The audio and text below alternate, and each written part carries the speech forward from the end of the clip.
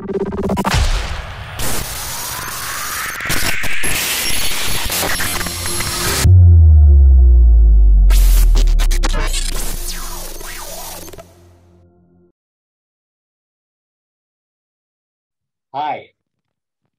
my name is Justin Bolognino, and the G is silent.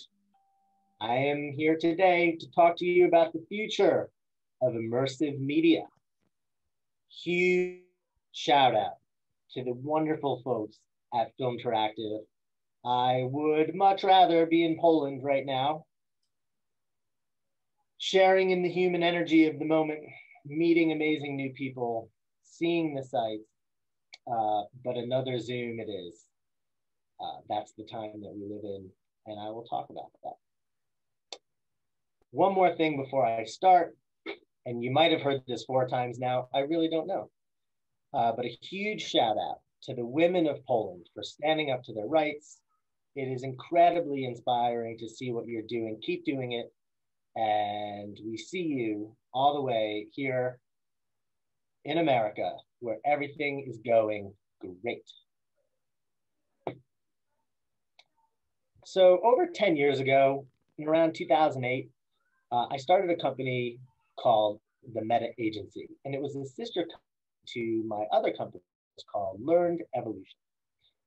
Learned Evolution was more of a straightforward creative agency, while the Meta Agency was a little bit more future thinking. The Meta Agency was a talent representation agency specifically for what we called experience directors or X directors.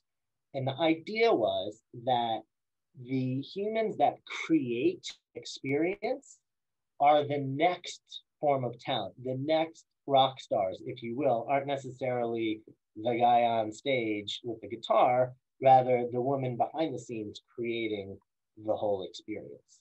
And so the Meta Agency and Learned Evolution went on to be acquired in 2014.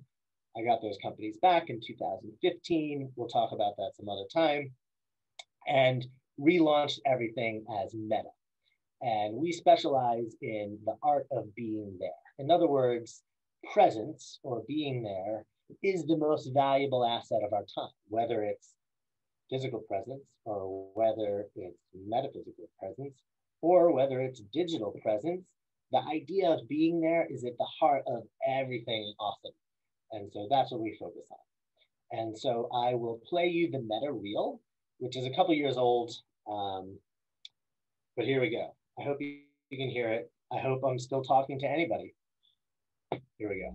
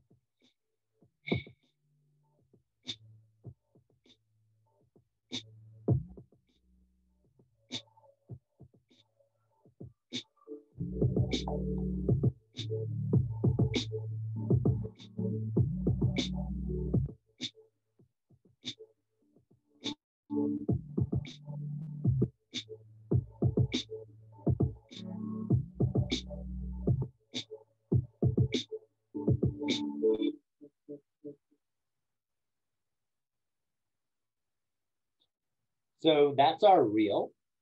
Uh, and I wanted to uh, play another video of a recent project. So we really want to focus our efforts these days on more impactful uh, experiences that focus on helping lift each other up uh, and um, helping to inspire the next generation to really hone in on what's important and bring it to life. So uh, I was approached about four years ago by a very, uh, very uh, enthusiastic Italian man named Valentino Vettori, who had this idea. He basically said, I want to do what you do at Meta, but I want to do it around sustainability.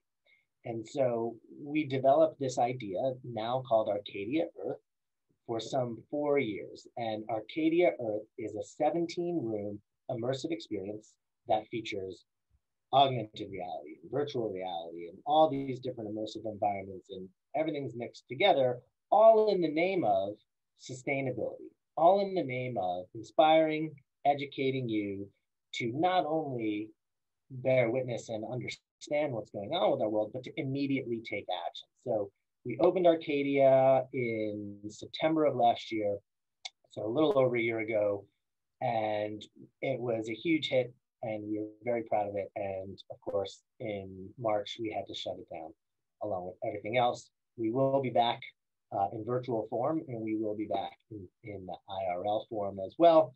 But I wanted to play that video because it's near and dear to my heart.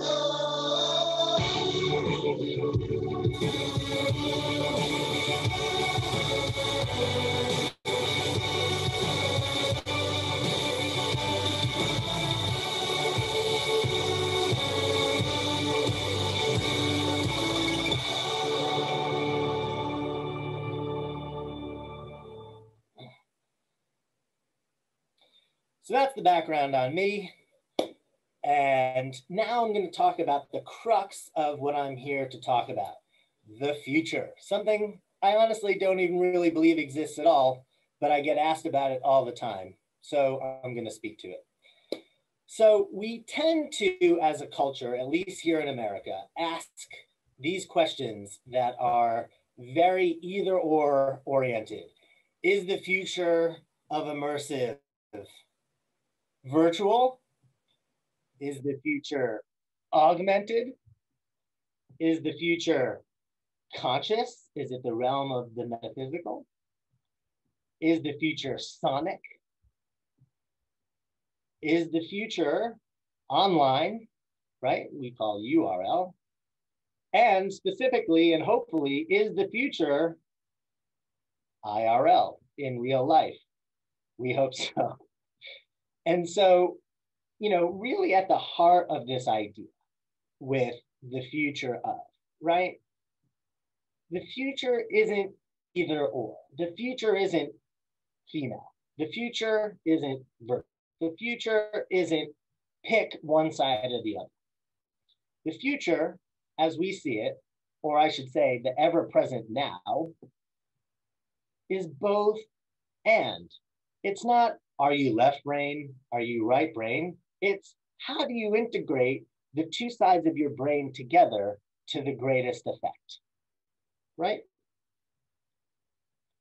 So the next idea that I want to share in regards to this is that reality itself is the medium of our generation, right? So if paint was the medium uh, of generations past, or celluloid film, or even digital technology, we're at a point now, thanks to the speed and size of real time technology, that reality itself is the actual medium, right? And if you look at all the different realities that I presented en route to here, you'll see uh, that we speak like this. And this isn't just in our industry, but this is how we now speak about media. We talk about virtual reality and augmented reality and in real life and online reality and all these different realities.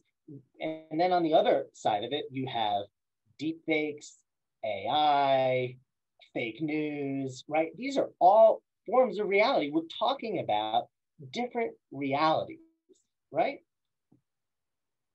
So I'm going to talk about our future at Meta, and our future at Meta is called Unreality. And Unreality is intended to be a social marketplace for the immersive media industry. So let's zoom out a little bit. What do we mean when we say immersive media industry? Well, we created something to help make sense of this because I fear, feel like one of the biggest problems in our industry is that we throw around all these words and we talk about XR and AR and VR and IR and IRL and all of the R's, right?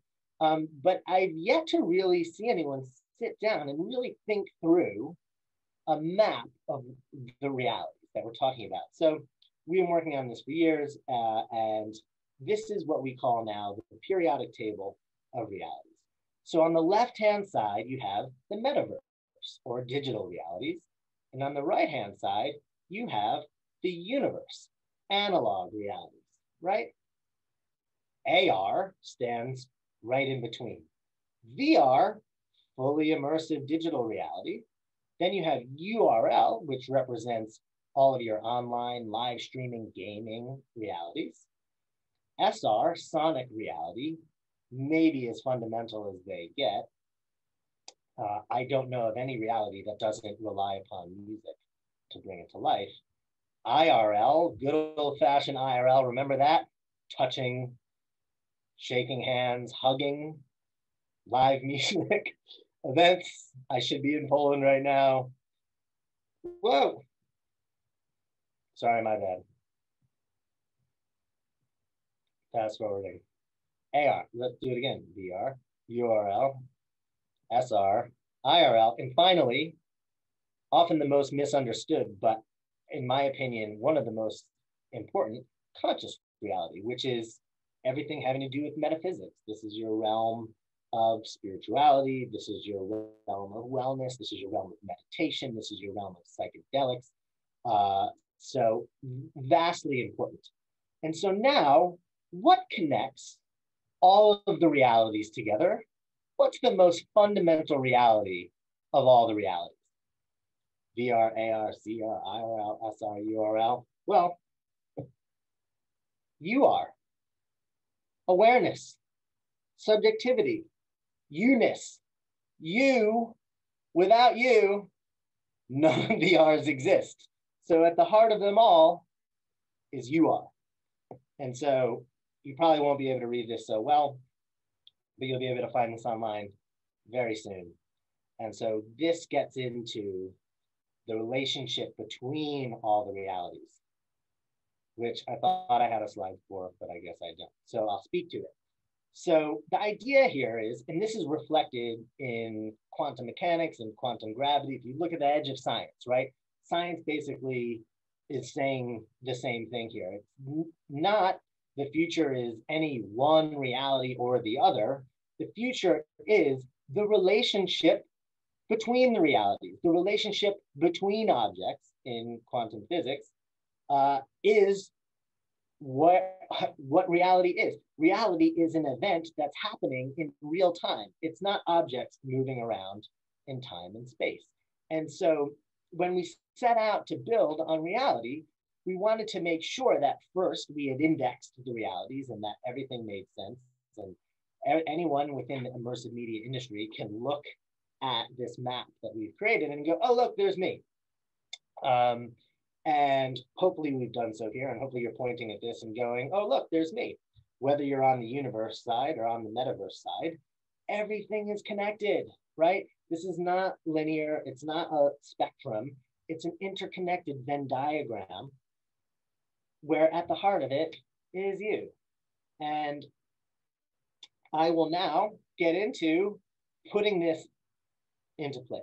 So what you're seeing now, and you guys are really the first ever public audience to see any of this stuff. So it's very exciting and slightly nerve wracking. So bear with me. So this is going to be our logged out homepage. And you can see that we're powering the immersive revolution. And you can read that as re-evolution if you really want to. And so the idea is that imagination realized. In other words, uh, our verb, our action item is the process of realization, right? So if you go to Twitter to tweet and you go to Pinterest to pin and you go to Instagram to post, on unreality, you realize. It's where you go to take your imagination and make it real. So, Unreality's global professional network connects diverse, immersive creatives, producers, and technologists to jobs, tools, projects, and each other.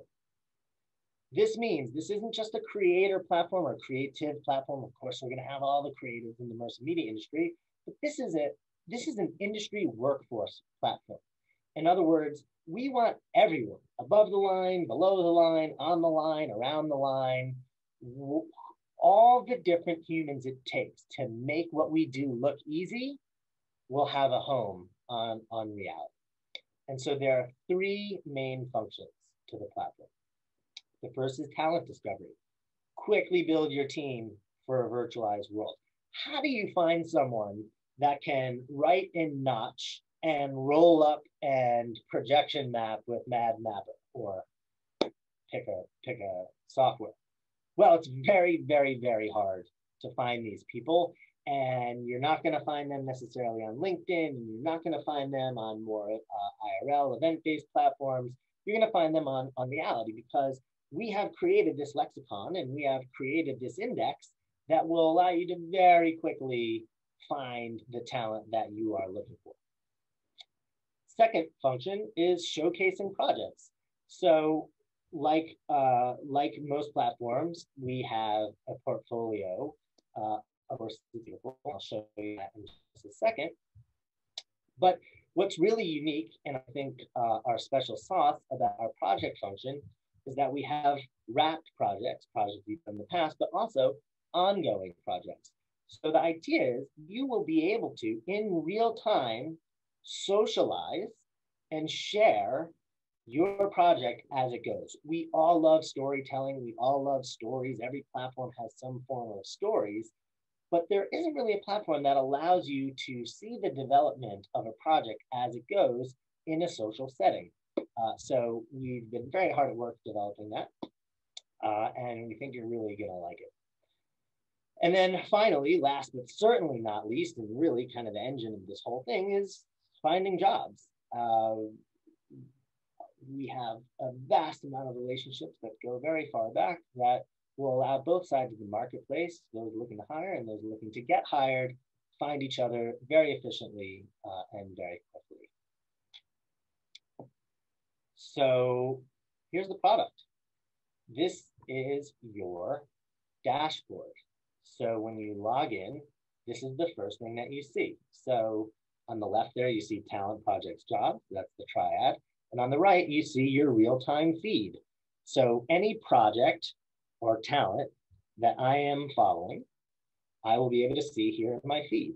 And so we imagine uh, a beautiful world of iterative creativity happening within the immersive media space uh, that you'll be able to see in real time, uh, just like on more social platforms. So we're kind of combining this element of the, of the real time feed with creativity and project iteration. And this is what it looks like. Uh, here's now your project visual. Sorry for a little, little down res, at least for me. Um, but you'll be able to see, all, of course, all your projects past. And so now here's a look at a project happening in real time. So there on the left, you can see your activity feed again, this is the, the real-time uh, mechanism that will allow you to see what's happening on this project. If you don't want the public to see your project, no worries whatsoever. You can have it private. Um, and we're creating really fast, easy ways to get your content up on there really quickly.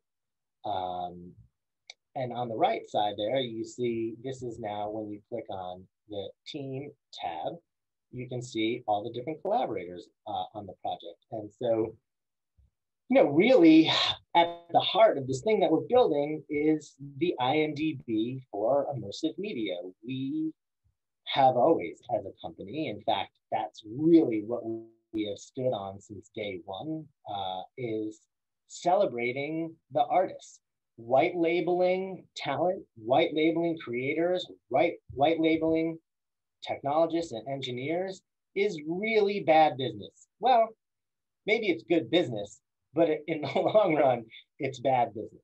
Uh, because those people deserve to be credited. Those people deserve to be honored, if not celebrated for their work. So ultimately, past projects, we're going to very enthusiastically ask you to make sure that you are citing all the different folks that worked on your project with you and that you have the ability to invite them and claim their credits uh, and say, yes, I did work on that project. And also, as we go, more advanced features to highlight who did what on any given project.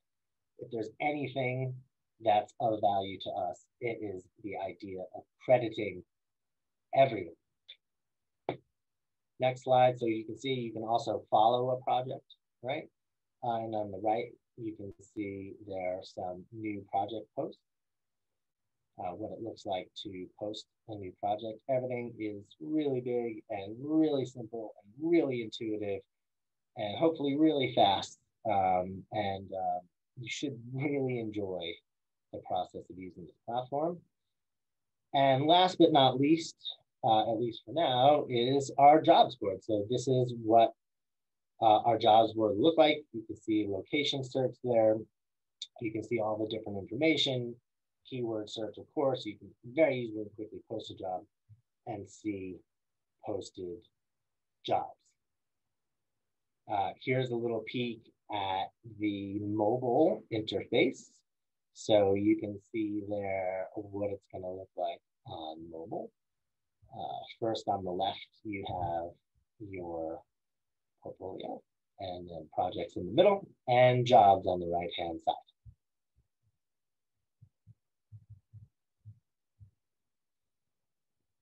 So dates. Around December 1st, we are going to very slowly and surely start opening Unreality up to you guys. If you're watching this stream, you can sign up right now at unreality.is. Be sure to check us out on Instagram. We've been curating uh, for a couple years now um, some of the best and brightest from the immersive media industry. Um, but if you sign up now, you're going to be in on the early private beta. We're probably going public maybe in January. We'll see how it goes. But if you want to see thing, if you want to touch this thing, if you want to be a part of what's going to be the coolest uh, and the most engaged uh, and impactful community when it comes to immersive media, sign up now and you will be in our private beta. And you can hold me accountable to that. And thank you. That's the end of my presentation. Again, my name is Justin Bolognino. Uh, you can find me personally at uh, on Instagram and Twitter and Medium. That's the Medium logo now. I think it's about the third time they've changed it in the last four weeks. Uh, but that's Medium, uh, and that's my handle, J Bolognino. The G is silent, and that's me.